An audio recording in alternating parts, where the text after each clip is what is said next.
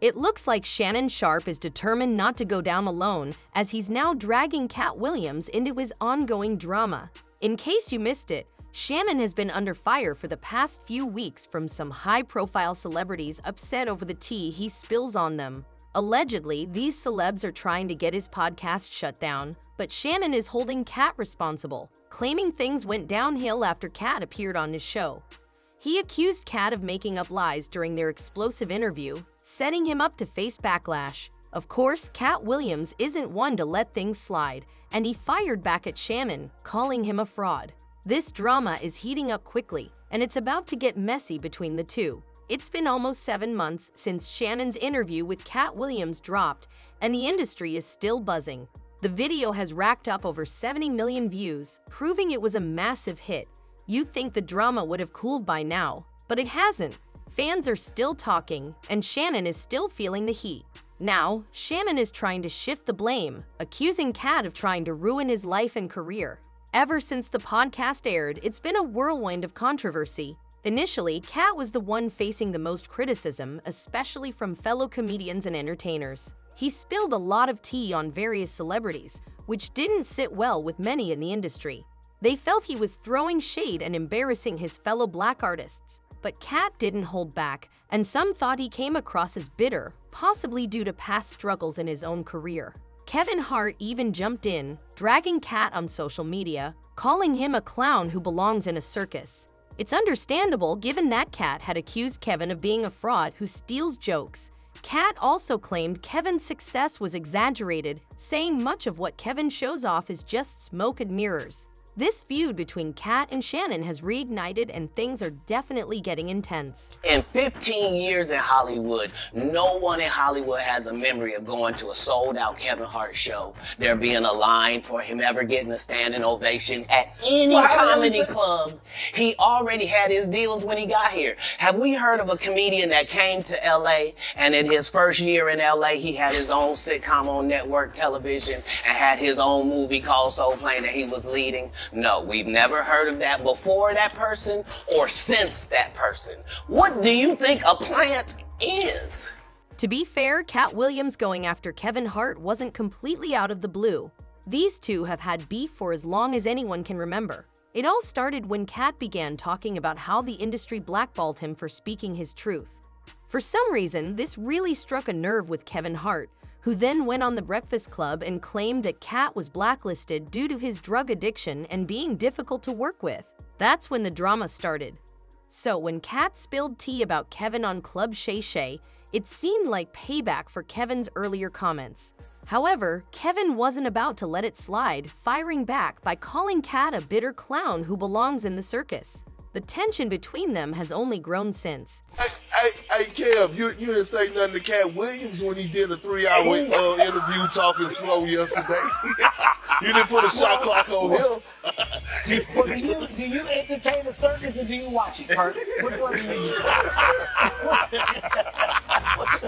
there was a lot of back and forth between Katt Williams and the celebrities he called out during the interview, but here's the twist. While Katt was getting dragged from every angle, Shannon Sharpe stayed silent. He didn't say a word to defend Katt or check the critics. He just watched as Katt got roasted. But as the saying goes, what goes around comes around. And now it's Shannon who's facing the heat. The same people who had a lot to say about Katt are now coming for Shannon, and he's struggling to handle the backlash. After his interview with Katt, it was Katt who took most of the criticism. But now Shannon is the one in the hot seat, especially after his interview with Mo'Nique, where he criticized Tyler Perry, Oprah, and even Mo'Nique's son. This is when people started accusing Shannon of using his platform to stir up unnecessary drama between black celebrities. Some felt that his show was becoming a place where black artists were invited to tear down other black artists who weren't there to defend themselves. Dave Chappelle was one of the first comedians to call out both Shannon and Katt, saying, What part of the game is this? Why are they going after their own? Katt is one of the best in the game, so why are you painting such an ugly picture of us? Chappelle also accused Shannon and Katt of damaging the livelihoods of their fellow black entertainers, adding, I lost everything and never told on anyone, but now he's acting like the arbiter of truth. Once Dave Chappelle opened up the conversation, it became a major topic. people quickly shifted their focus from Katt to Shannon's role in the drama. They felt Shannon was intentionally bringing on controversial guests to stir the pot and boost views, and it worked. His interviews with Katt and Mo'Nique went viral and garnered the most views.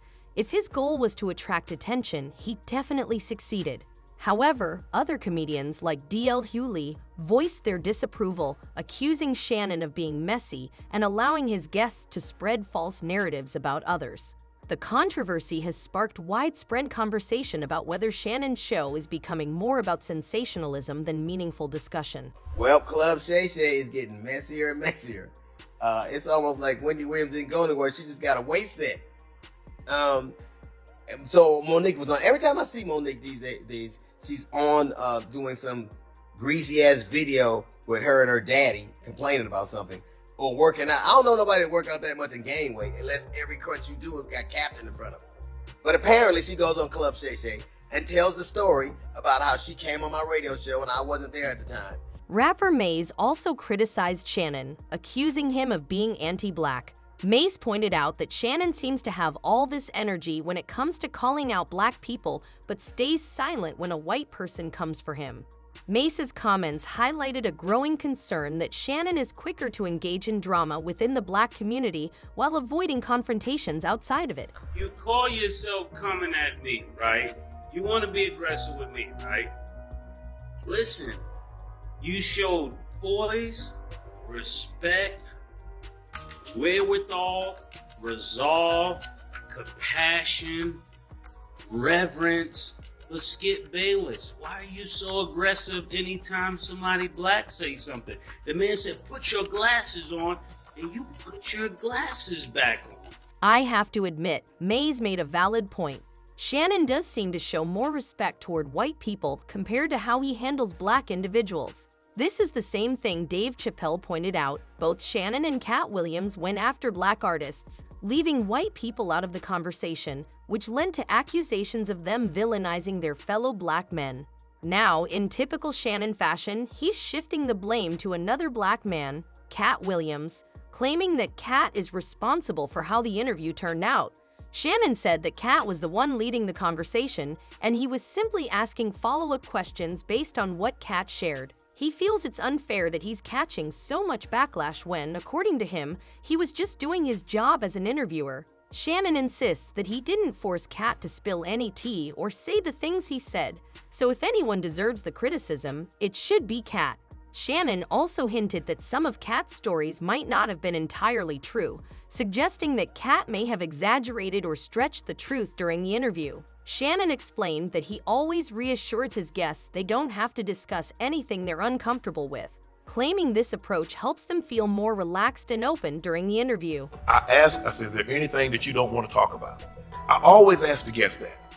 Sometimes they say, well, uh, I would appreciate if we not talk about this. Right.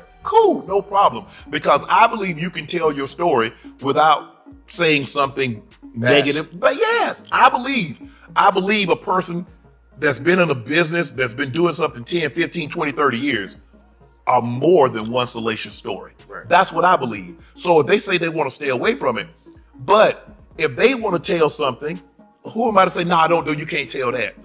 People, are, Cam. When it came to Katt Williams, Shannon claimed that Katt was more than eager to spill everything with nothing held back. Shannon also stated that there was no way for him to verify what Katt was saying and that it's unfair he's the one receiving all the backlash. However, Katt has his own side of the story. According to an insider, Katt allegedly claimed that Shannon encouraged him to exaggerate and even make up stories to make the interview more interesting. And honestly, that doesn't sound like Katt. Over the years, Katt has built a reputation for spilling the truth about other celebrities. Thanks to him, we've learned about some of the shadiest and nastiest people in the industry. If Shannon was looking for someone to stir things up, it makes sense why he invited Katt onto his podcast. At this point, it's a lot of he said, she said, but fans believe Shannon is getting defensive because his podcast hasn't been pulling the same numbers as it did after the Katt interview. Now, it seems like he's trying to find someone to blame, and Katt is the easiest target. Fans have been quick to comment on the drama, saying things like, The best part of Shannon Sharpe's platform is that we can finally stop saying women gossip more because that's one messy man right there. Another fan wrote, Shannon Sharpe is becoming the messy Batman. He gives great intros, but this platform is too messy. He needs to change the energy, or he's going to end up hosting Asterisk Media Takeout TV Asterisk. And others added, Shannon did this to himself, trying to be the bigger, badder Wendy Williams. Now every black artist is going to target him. So, what do you think? Is Shannon too messy, or are you Team Shay Shay? And do you believe he's really accusing Katt of trying to ruin his career? Let me know your thoughts in the comments, and don't forget to check out the next video.